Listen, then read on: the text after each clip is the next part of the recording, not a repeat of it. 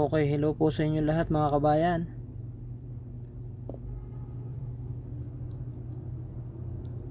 So ngayon po, balik po tayo sa pera ng Japan mga kabayan. This coin is from Japanese coin government.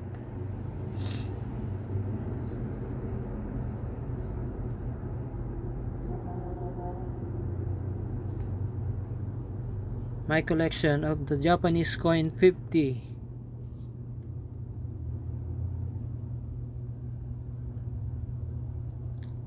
50 coin government.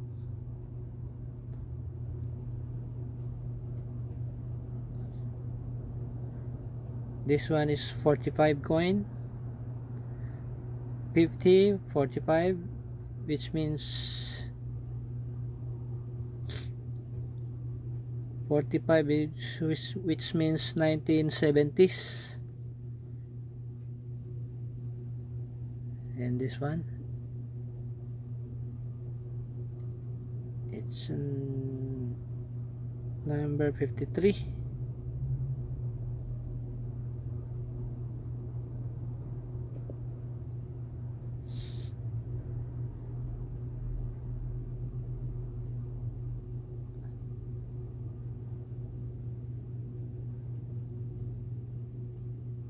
okay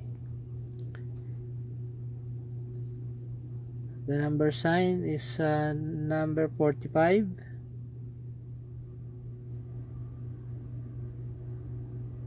no no this one is uh, number 46 okay 46 this one is number 45 45 46 and 53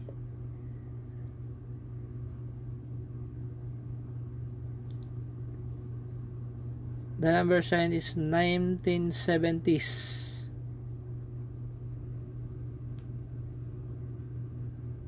Nineteen seventy six or nineteen seventy four something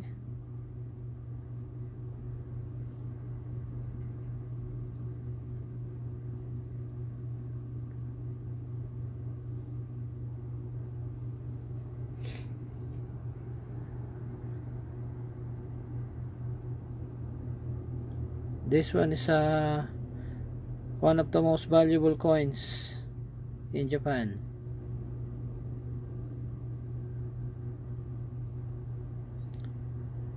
Basta ang barya pong ito ay 70s po ito mga kabayan. Kasi dumidepende po yan sa number. Number sign na nakaukit sa bandang ibaba. This one is a number 45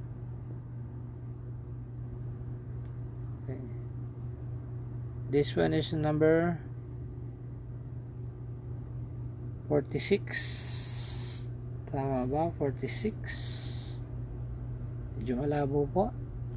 Wait. No. It's a number 48 so 45 48 and this one is 53 So 45, 48, and 53.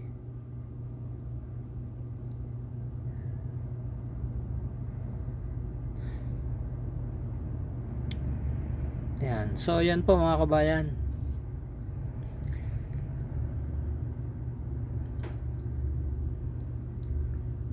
Ito pong 50 cents po ng Japanese coin na ito ay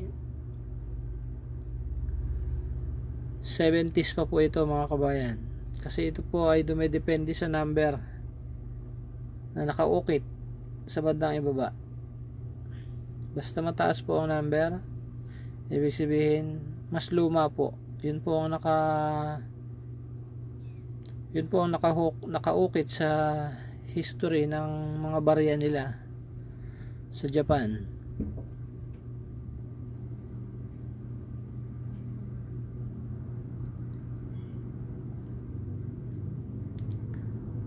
So yun po, um, ito po ang pinakita ko sa inyong bariyang ito ay isa po ito sa collection ko mga kabayan.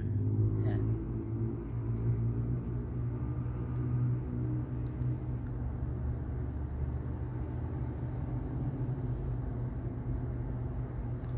One of my personal collection from the coin of the Japanese government.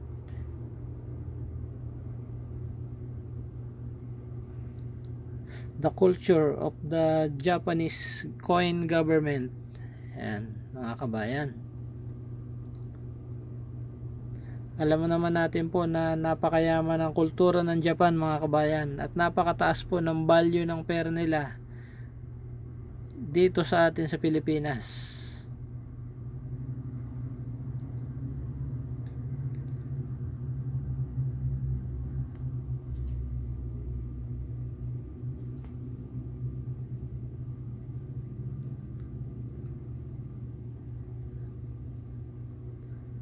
Ayan, at medyo kakaiba din po ang mga hugis ng mga barya nila. Kamukha nito may butas po ito sa gitna. Ayan, itong 50 cents na ito mga kabayan. So yun po, uh, pinakita ko po lang pinakita ko lang po itong collection ko na ito para po uh, ma-update din po kayo at maibahagi ko sa inyo ang aking mga koleksyon na barya.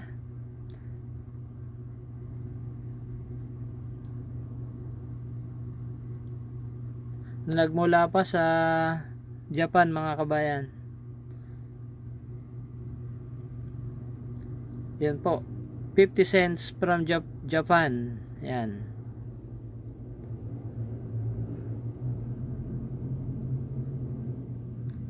doon po sa mga OFW natin na, na nagtatrabaho sa ibang bansa saan man panig ng mundo mabuhay po kayong lahat dyan. At muli po um, ito po ang kabayan Pilipino. At maraming maraming salamat po sa inyong pagsubaybay sa aking channel mga kabayan. At patuloy, at patuloy po kayong tumutok at marami pa po akong ipakikita sa inyo. So yun po. Maraming maraming salamat po Muli, ito po ang kabayan Pilipino. Mabuhay po kayong lahat.